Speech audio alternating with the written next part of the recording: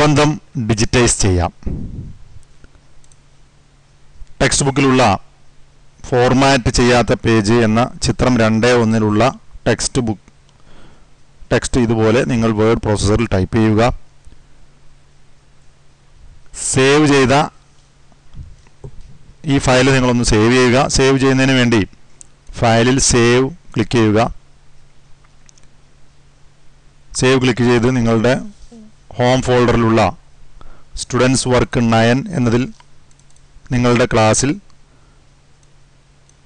Work one എന്നതിൽ W one എന്നൊരു പേര് നൽകി സേവ് ചെയ്യുക. അനുയോജ്യമായ ഒരു പേര് നൽകുക.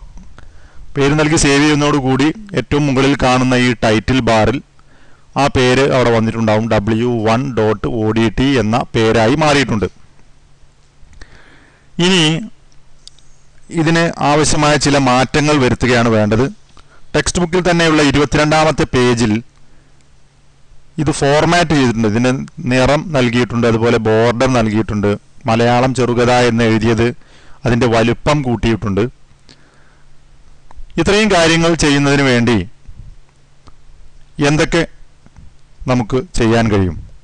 ഇവിടെ ചെറുകഥ മലയാളം മലയാള ചെറുകഥ എന്ന് എഴുതിയത് മധ്യഭാഗത്തായി ക്രമീകരിക്കുന്നതിന് വേണ്ടി ഇത്തരത്തിൽ ഇത് സെലക്ട് ചെയ്യാം. സെന്റർ ഹൊറിസോണ്ടൽ എന്ന രൂപത്തിൽ കൊടുത്തു കഴിഞ്ഞാൽ അത് മധ്യഭാഗത്തായി ക്രമീകരിക്കാം. ഇവ ഒരുമിച്ച് സെലക്ട് ചെയ്തതിന് ശേഷം ഫോർമാറ്റിൽ പാരഗ്രാഫ് മെനുവിൽ പോയി കഴിഞ്ഞാൽ ഒരു paragraph before indent after indent അതുപോലെ സ്പേസിങ് ഇത്രയും കാര്യങ്ങൾ നമുക്കിവിടെ ചെയ്യാൻ കഴിയും. ഇവ തമ്മിലുള്ള അകലം രണ്ട് വരികൾ തമ്മിലുള്ള അകലം സിംഗിൾ എന്നത് നമുക്കിവിടെ വൺ പോയിന്റ് ഫൈവ് ആക്കുന്ന സമയത്ത് ഇവിടെ അതിന്റെ ഒരു മാറ്റം കാണാം. ഓക്കെ ക്ലിക്ക് ചെയ്യുന്ന സമയത്ത് നമുക്കിത് കാണാം. വരികൾ തമ്മിലുള്ള അകലം. അതുപോലെ ഫോർമാറ്റിൽ പാരഗ്രാഫിൽ പോയതിന് ശേഷം എബവ് പാരഗ്രാഫ് ബിലോ പാരഗ്രാഫ് രണ്ട് പാരഗ്രാഫുകൾക്കിടയിലുള്ള അകലം ഇവിടെ നമുക്ക് വ്യത്യാസപ്പെടുത്താം. വ്യത്യാസപ്പെടുത്തുന്ന സമയത്ത് ആ ഒരു വ്യത്യാസം ഈ ചിത്രത്തിൽ നമുക്ക് കാണാം. ഓക്കെ ക്ലിക്ക് ചെയ്യുന്ന സമയത്ത് ഇവിടെ ഇപ്പോൾ കൃത്യമായ മാറ്റങ്ങൾ കാണാത്തതിന്റെ കാരണം ഇവിടെ നമ്മൾ പാരഗ്രാഫുകൾ സെറ്റ് ചെയ്തിട്ടില്ല. നമുക്കിവിടെ ഒരു എന്റർ അടിച്ചു കഴിഞ്ഞാൽ മറ്റൊരു പാരഗ്രാഫായിട്ട് അത് വരും. ഇപ്പോൾ നമുക്കിവിടെ ഇതിന്റെ ഡിസ്റ്റൻസ് മനസ്സിലാക്കാം. അതുപോലെ മറ്റൊരു പാരഗ്രാഫും കൂടി ഞാനിവിടെ എന്റർ അടിക്കുക. എന്റർ അടിക്കുന്ന സമയത്ത് അത് പുതിയ പാരഗ്രാഫായി കമ്പ്യൂട്ടർ പരിഗണിക്കും. വീണ്ടും ഞാനിത് ഒരുമിച്ച് സെലക്ട് ചെയ്തു. ഈ പാരഗ്രാഫുകൾ ഫോർമാറ്റിൽ പാരഗ്രാഫിൽ പോയി കഴിഞ്ഞാൽ ഇതിലെ ഫസ്റ്റ് ലൈൻ ഒന്നാമത്തെ ലൈൻ എത്ര വിടണം. നമുക്കിത് ഇവിടെ ഒരു വൺ സെന്റിമീറ്റർ കൊടുക്കാം. കൊടുക്കുന്ന സമയത്ത് നമുക്കിതിവിടെ കാണാം. എന്താണ് ഒരു നമ്മൾ സാധാരണയായി ഫസ്റ്റ് ലൈൻ ഇൻഡന്റ് എന്ന പാരഗ്രാഫ് സ്റ്റൈലാണ് ഉപയോഗിക്കുന്നത്. ഓക്കെ ക്ലിക്ക് ചെയ്താൽ നിങ്ങൾക്ക് ഇവിടെ കാണാം. ഇപ്പോൾ മാർജിനിൽ നിന്ന് അല്പം വിട്ട് ഇത്തരത്തിൽ ഇത് സെറ്റായി വന്നത് കാണാം. ഇനി വീണ്ടും ഞാനിതൊന്ന് ഒരുമിച്ച് സെലക്ട് ചെയ്തു. ഈ രണ്ടറ്റങ്ങൾ മുട്ടി നിൽക്കുന്ന രൂപത്തിലല്ല. അതിന് നമുക്കിത് ജസ്റ്റിഫൈ ചെയ്യാം. ഇവിടെ ഈ ജസ്റ്റിഫൈഡ് എന്ന ഈ ബട്ടൺ ഉപയോഗിച്ചോ? അതല്ലെങ്കിൽ ഫോർമാറ്റിൽ പാരഗ്രാഫിൽ നിന്നും അലൈൻമെന്റിൽ ജസ്റ്റിഫൈഡ് എന്ന ഈ ഓപ്ഷൻ ഉപയോഗിച്ചോ നമുക്കിത് അലൈൻ ചെയ്യാൻ കഴിയും. ഇനി ഇതിൽ ടെക്സ്റ്റ് ബുക്കിൽ ഇതിനൊരു ബാക്ക്ഗ്രൗണ്ട് ഒരു മഞ്ഞ നിറവും ഹെഡിങ്ങിന് ഒരു നിറവും അതുപോലെ ഒരു ബോർഡറും നൽകിയിട്ടുണ്ട്. ഇതിനു വേണ്ടി പേജിന്റെ കെട്ടും മറ്റും മാറ്റാം എന്ന പ്രവർത്തനം രണ്ടേ രണ്ടിൽ ഫോർമാറ്റ് പേജിലാണ് പോകേണ്ടത്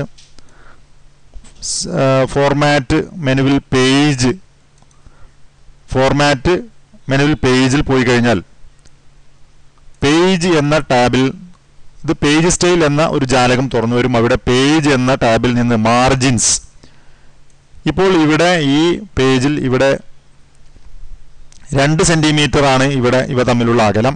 ഇവ നമുക്ക് വേണമെങ്കിൽ ഇവിടെ ഉദാഹരണത്തിന് ലെഫ്റ്റ് സൈഡിൽ നമ്മളിത് കൂട്ടുകയാണെങ്കിൽ മൂന്ന് സെന്റിമീറ്റർ എന്ന് നൽകുകയാണെങ്കിൽ നമുക്കിവിടെ ഇപ്പോൾ നിങ്ങൾക്ക് കാണാം.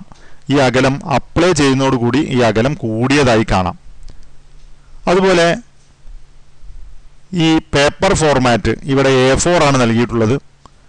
അത് ഇവിടെ നിങ്ങൾ നമുക്ക് സാധാരണയായി പ്രിന്റ് ചെയ്യുന്നതിനുള്ള പേപ്പർ ഫോർമാറ്റ് എ ഫോർ തന്നെയാണ് നല്ലത്.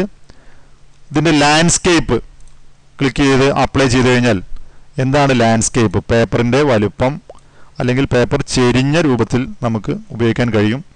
ഇവിടെ പ്രിന്റ് പ്രിവ്യൂ കൊടുത്തു കഴിഞ്ഞാൽ നമുക്ക് മനസ്സിലാവും. ഇത്തരത്തിലാണ് ലാൻഡ്സ്കേപ്പ് ആകുന്ന സമയത്ത് വരിക. ഇനി ഫോർമാറ്റിൽ പേജിൽ തന്നെ പോർട്രേറ്റ് എന്ന് പറഞ്ഞാൽ സാധാരണ നമ്മൾ കാണാറുള്ള ഈ രൂപത്തിലുള്ള ഒരു എ ഫോർ സൈസിലേക്ക് സെറ്റ് ചെയ്ത് വരുന്നതാണ്. ഇനി ഇതിൽ ഫോർമാറ്റിൽ പേജിൽ പോയി കഴിഞ്ഞാൽ ഏരിയ എന്ന ഭാഗത്ത് നിന്നും ഫിൽ നൺ എന്ന ഭാഗത്ത് ക്ലിക്ക് ചെയ്ത് കളർ സെലക്ട് ചെയ്യുക. ഇവിടെ ഒരു ചെറിയ മഞ്ഞ നിറമാണ് നമുക്കിവിടെ കാണാനുള്ളത്. യെല്ലോ ഞാൻ സെലക്ട് ചെയ്ത് അപ്ലൈ ചെയ്ത് ഓക്കെ ക്ലിക്ക് ചെയ്യുന്ന സമയത്ത് ഈ പേജിനൊരു മഞ്ഞ നിറം വരുന്നു. ഇനിയും ഇതിൽ നമുക്ക് കൂടുതൽ കാര്യങ്ങൾ ചെയ്യാൻ കഴിയും. മലയാള ചെറുകഥ എന്ന് എഴുതി ഇത് സെലക്ട് ചെയ്ത് ഇതിന്റെ വലുപ്പവും ഇതിനുള്ള സ്റ്റൈൽ ചിലങ്ക എന്ന സ്റ്റൈൽ നൽകി. അതുപോലെ ഇതിന്റെ വലുപ്പം അല്പം കൂട്ടി. ഇതിന്റെ നിറം ഫോണ്ട് കളർ എന്ന ഈ ഓപ്ഷനിൽ പോയി ഇതിനൊരു നിറവും നമുക്ക് നൽകാം. ബോൾഡ് ഇത്തരത്തിൽ ഒന്ന് ചെയ്തു നോക്കുക. പ്രവർത്തനങ്ങൾ ചെയ്തതിന് ശേഷം സേവ് ചെയ്യുക.